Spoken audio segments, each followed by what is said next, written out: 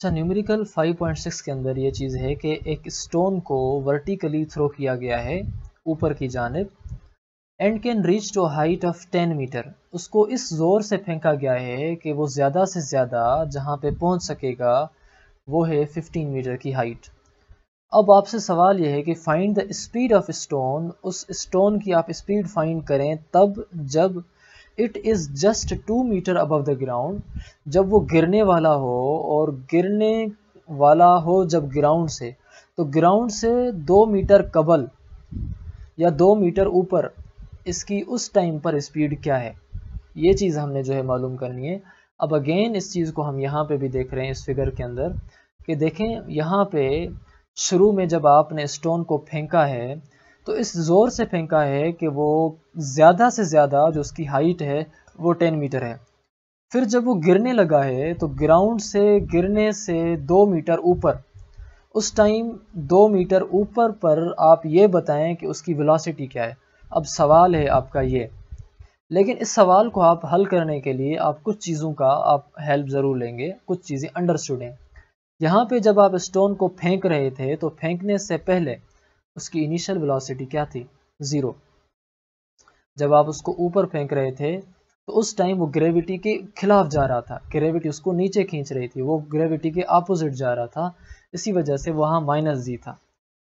फिर जब वो 10 मीटर की मैक्सिमम हाइट तक पहुँच गया तो फिर वो नीचे आ रहा था और ग्रेविटी भी उसको नीचे खींच रही थी। यानी कि ग्रेविटी की फेवर में आ रहा था। इसी वजह से वहाँ ग्रेविटी होगी पॉजिटिव और उसका वैल्यू है 10 ये कुछ वैल्यू थे आपने यहाँ पे, अब समझ लिए। अब हम आते हैं सॉल्यूशन की तरफ़। सॉल्यूशन में सबसे पहली तो आप ये चीज़ डिस्कस कर लें कि जब आपका स्टोन रिटर्न हो रहा है and reach at two meter above the ground then at this point we have to find its velocity उस पॉइंट पर हमने उसकी वेलोसिटी फाइंड करनी है। मगर अगर आप वेलोसिटी को फाइंड करना चाहते हैं तो आपके पास फार्मूला है V F is equal to V I plus A T मगर यहाँ पे आपको फाइनल वेलोसिटी तो खैर मालूम करनी है। इनिशियल वेलोसिटी मिली हुई है। एक्सलेशन आपको ग्रेविटी की सूरत में, यानी जी की सूरत में मिली हुई है क्या आपको टाइम मिला हुआ था यहाँ प्रॉब्लम में, नहीं मिला हुआ था। तो मतलब ये हुआ कि यहाँ पे अगर इस फार्मूले में आप वेलोसिटी मालूम करना चाहते हैं तो सबसे पहले आप टाइम फाइंड करें। But we do not have the value of time so first find time अब आते हैं हम टाइम की जानब। लेकिन टाइम को फाइंड करने के लिए फिर अगेन आपको चाहिए हाइट क्योंकि टाइम को फाइंड करने के लिए आप फार्मूला लगाएँगे S is equal to V I T plus one upon two A T square यहाँ पे जो एस है, वो है एच दरअसल। अब ये एच कितनी होनी चाहिए? क्या वो एच दो मीटर हो? या वो एच टू मीटर हो? या टेन मीटर हो? अब यहाँ पे आप एक चीज़ समझें कि जब वो मैक्सिमम हाइट दस मीटर पर स्टोन पहुँच गया था तो जैसे ही वो टेन मीटर से कम होकर दस मीटर पर और टू मीटर पर पहुँचा तो यहाँ पे इसकी आपने वेलोसिटी मालूम करनी है। अब ये यहाँ तक इसने कितने मीटर कवर कर लिए हैं? टेन से लेकर टू तक। यहाँ तक इसने कवर कर ली है आठ मीटर तो अब हम कहेंगे कि इसकी वेलोसिटी आठ मीटर बाद कितनी थी? या फिर इतने, इसने आठ मीटर में कितना टाइम लिया? दस मीटर से टू मीटर तक पहुँचने में भी कुछ ना कुछ टाइम लिया होगा। वो टाइम कितना है? वो टाइम हमने अब मालूम करना है। इसी वजह से यहाँ पे जो हम हाइट लेंगे, वो 10 मीटर से लेकर टू मीटर के बीच वाली हाइट लेंगे। दस में से जब हम टू को माइनस करते हैं तो हमारे पास वैल्यू पहुँचता है आठ। इसी वजह से हम कह रहे हैं here it has covered eight meter height to reach from ten meter to two meter so height covered by stone when it falls from वो हाइट जब वो वो कवर करता है, जब वो फॉल हुआ दस मीटर की रेंज से, और वो पहुँच गया है टू मीटर तक।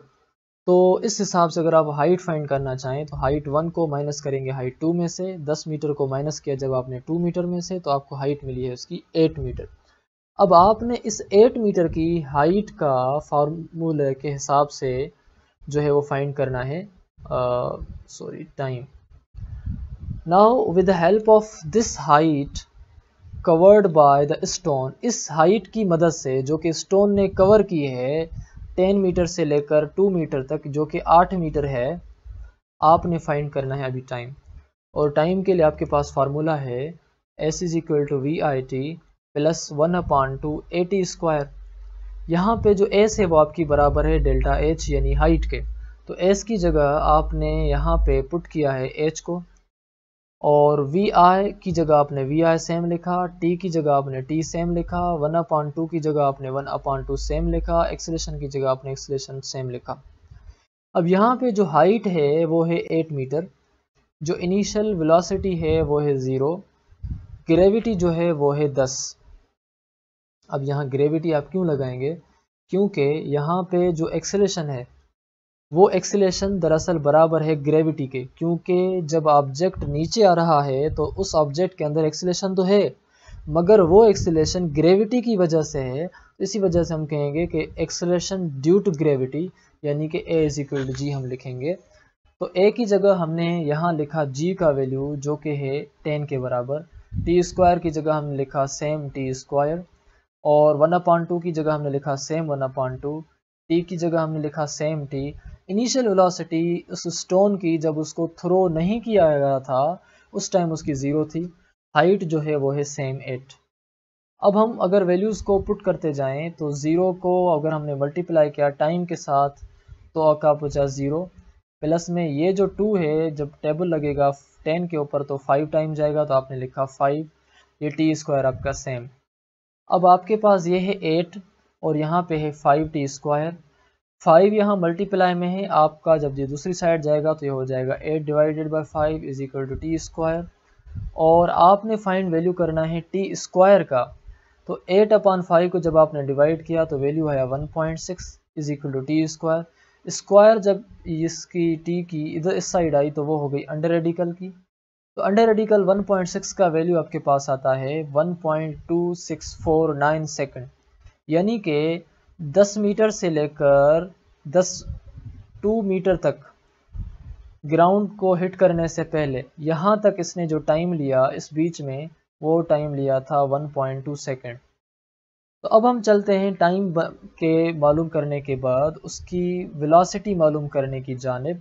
तो वेलोसिटी को मालूम करने के लिए, जैसा कि हमने पहले कहा कि हम फार्मूला यूज़ करेंगे V F is equal to V I plus A T to get the final velocity आपको ये मालूम है कि जो उसकी इनिशियल वेलोसिटी थी स्टोन की, वो ज़ीरो है।